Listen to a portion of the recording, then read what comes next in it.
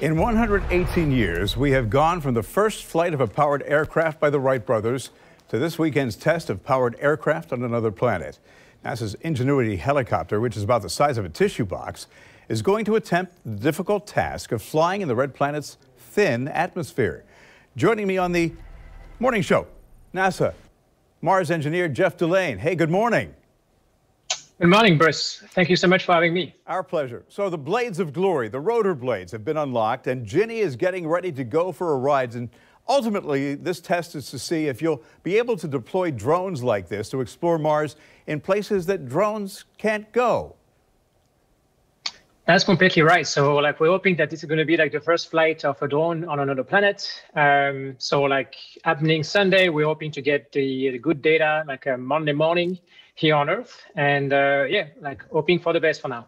So should human explorers ever land on Mars, I've heard that these drones could be, you know, very useful in doing some, uh, you know, pre-exploration.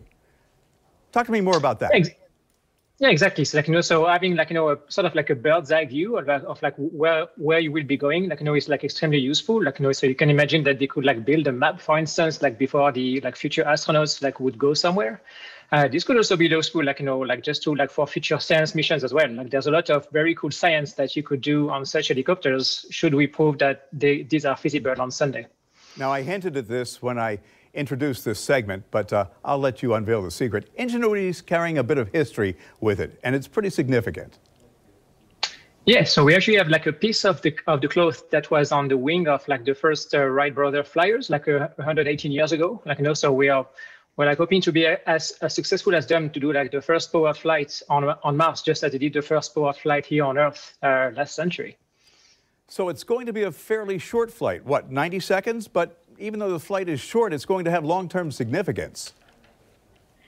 Yeah, so it's it's up to 90 seconds, and the first flight is like the most critical for us. Like, and all, all we're gonna do is like you know like take off, go to about like 10 feet high, stay there for a while, do like a small turn, and then and then go down. But doing this, like just be able to generate the lift on the very thin atmosphere of Mars and be able to control the helicopter, uh, knowing that everything needs to happen like autonomously on board. Like it's just Mars is way too far for us to be able to remote control it.